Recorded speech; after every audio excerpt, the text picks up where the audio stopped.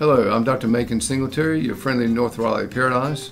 So today I'm going to talk to you a little, little bit about what's the difference between a periodontists and a general dentist. Now, uh, general dentists learn everything, and um, they are. Uh, it's I think to be a good general dentist, it's tough. And uh, when I was going through dental school, I saw that um, in order to be the best I could be, I needed to focus on one thing. And I fell in love with uh, periodont periodontology and periodont, the periodontal therapy and the aspect of the systemic health associated with periodontal disease. So I decided to go into the specialty program at UNC and learn more about what and why gum disease and why it happens and what's the etiology and why how does it affect your systemic health. So a periodontist goes to a program that's certified. It's a two or three year program. You can get a certificate or you can get a master's.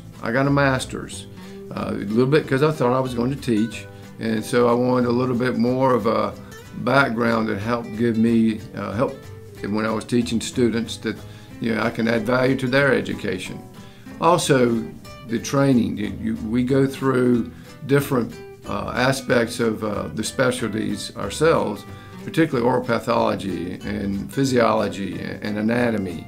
And then we go through our literature, and we the literature review that we do uh, helps us determine what procedures we will do, and and to uh, with a critical eye be able to read uh, an article and determine is it valid or not. Is it is this therapy that's being done is it credible? and can it be utilized in a practice and, and in turn help me be able to uh, give treatment options for you in a way that um, is effective and uh, long-term affecting uh, your gum tissue health. So uh, a periodontist uh, really is a person who really wants to uh, hone in on the specific aspect of dental disease.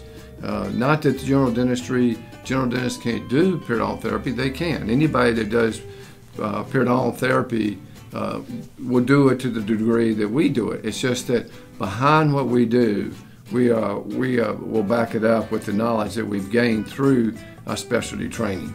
So hopefully that gives uh, clears up uh, maybe a little bit about the difference between a periodontist and a general dentist. If you got any questions or want to talk to me about it or just come in and see us, give us a call. And again, keep smiling.